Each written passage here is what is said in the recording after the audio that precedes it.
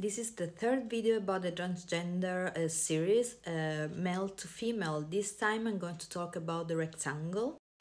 Before I go further, I just want to make a point. Everything you're going to see is from the H&M website because I know this is a very expensive surgery.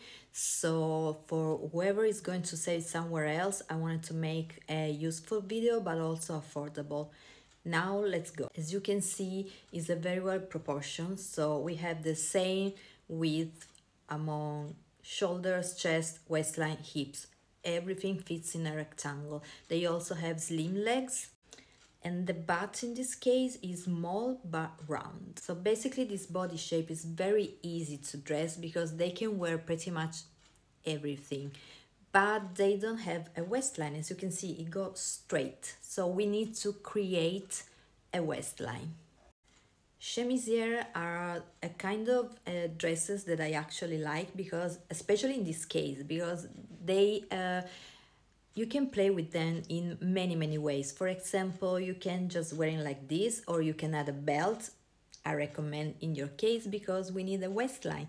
So you can just add a belt or you can play with layers like this and use a sweater to basically create the waistline and to give more volume, more softness. Especially this dress, I don't know if you can see here, we have the hems and some pleats. I know the pattern doesn't help, but still this is called coulisse so basically is going to give more volume there in this lower part and we need volume to make more rounder, fuller hips to make it look more feminine. Sleep dress for a more elegant or formal occasion, they are perfect because they already have their silhouette. See, they already have the best silhouette ever. You just need to wear it.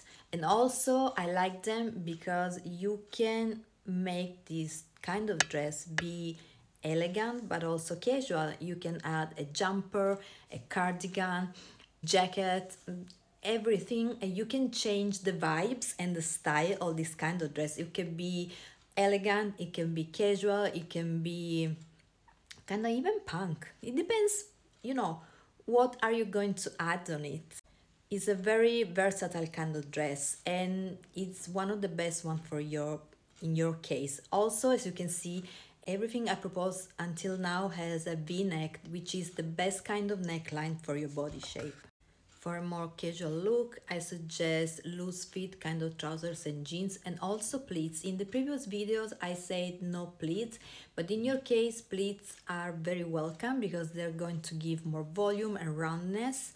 So it's going to create a more feminine kind of figure. Here we also have a crop top. This way we are giving the illusion of a waistline, even if it's a straight one, but it's still a waistline.